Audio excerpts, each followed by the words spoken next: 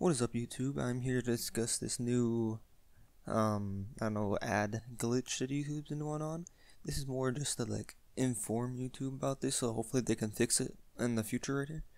But basically what it is, right, it's where, you know how YouTube has the little ad, like, now they'll warn you when there's an ad, they'll be like, oh, five seconds from now there'll be an ad, you know, transition into the ad very smoothly. It's sort of like that, but this glitch is where it'll be like 2,000 seconds from now, there's gonna be an ad, and then that's just and honestly, it's not as bad as it sounds. It's not completely horrible, but it is annoying because the little ad thing will pop up in the side of the screen when you're trying to watch a YouTube video.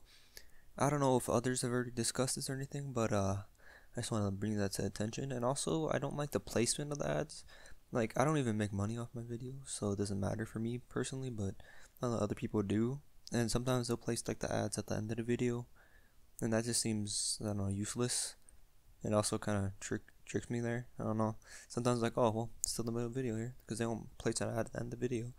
But anyway, that's all really. That's all. I just wanted to bring that to light. You know, put some attention on that. Yeah, but anyway, hopefully YouTube can fix that soon because that's kind of annoying that it just pops up on my videos. Comment down below your experiences with it or if you have any way to fix it. And yeah, until next time.